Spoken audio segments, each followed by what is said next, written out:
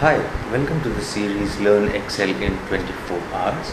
In this video, we'll study how to use Excel to calculate simple interest and compound interest. So we put in the data headers first, principal, interest rate, duration. The interest rate we will specify in percentage and the duration that we will specify is in years. So we'll put the principal amount in cell D3, the interest rate in cell D4 and the duration in cell D5. By default, we know the formula for simple interest is principal into interest into duration upon 100. Now here, because the interest rate is already specified in percentage, simple interest will be simply the product of cells D3, D4 and D5.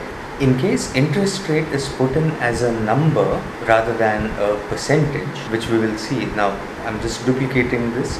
You can see I've again put data headers and we'll be putting the principal interest rate and duration in cells H3, H4 and H5. This time the interest rate has been put in as a number. Then the simple interest calculation will be product H3 to H5 and the whole divided by 100. In either case, the final result will be the same. When interest rate is indicated in percentage, don't divide by 100.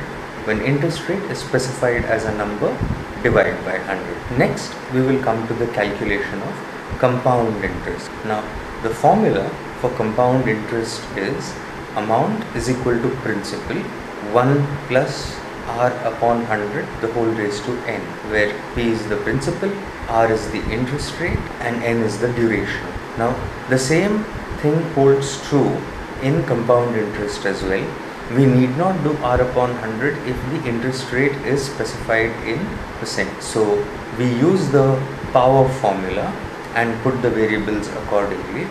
For amount is equal to principal into 1 plus r. The whole raised to n that will come into the power function.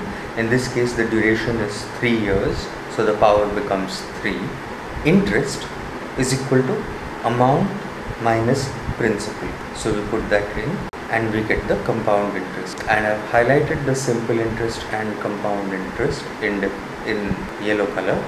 So you can see compound interest for the same principal, for the same interest rate, for the same duration is higher because of the compounding effect. Thank you.